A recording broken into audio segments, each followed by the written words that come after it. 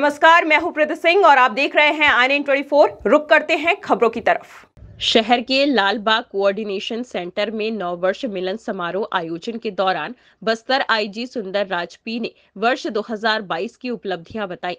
छत्तीसगढ़ शासन की विश्वास विकास सुरक्षा त्रिवेणी कार्य योजना के अनुरूप बस्तर क्षेत्र में तैनात छत्तीसगढ़ पुलिस केंद्रीय रिज़र्व पुलिस बल सीमा सुरक्षा बल भारत तिब्बत सीमा पुलिस एवं सशस्त्र सुरक्षा बल द्वारा बेहतरीन कार्य करते हुए नक्सल गतिविधियों के ऊपर प्रभावी कार्यवाही की जा रही है।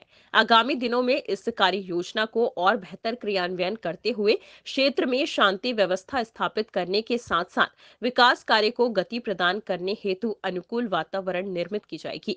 बस्तर पुलिस एवं संभाग में तैनात सुरक्षा बलों के लिए वर्ष 2022 काफ़ी महत्वपूर्ण एवं निर्णायक वर्ष रहा है।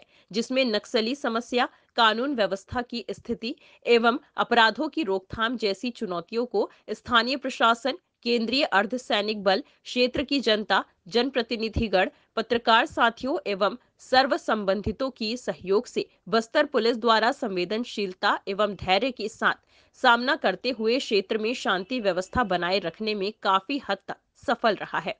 किए गए थे। सब अंदरूनी कोर इलाके में ये कैंप स्थापित किए थे। प्रत्येक हमारा कैंप अपने आप एक समग्रित विकास केंद्र के रूप में काम करते हुए क्षेत्र की जनता को सड़क पुल पुलिया निर्माण, बिजली आपूर्ति, आंगनवाड़ी पी डी अन्य मूलभूत सुविधा से लाभान्वित की जा रही है। और अंदरूनी इलाके में कनेक्टिविटी काफ़ी हद तक बढ़ गई थी, जिससे क्षेत्र के बच्चे जो स्कूल आने जाने के लिए, जो बीमार अपना इलाज के लिए हॉस्पिटल, ब्लॉक मुख्यालय, जिला मुख्यालय जाने के लिए और अन्य कई प्रकार के व्यापार के लिए भी ये सब रास्ते खुलते जा रहा है। हमें उम्मीद है जिस तरीके से क्षेत्र की परिस्थिति बदल रहा है, आने वाला बहुत जल्दी इलाके में नक्सल समस्या का समाधान करते हुए, क्षेत्र की जनता का अनुरूप हम आगे और विकास कार्य को गति प्रदान करते हुए, बस्तर के एक सकारात्मक एवं नया पहचान दिलाने में हम सफल होगा।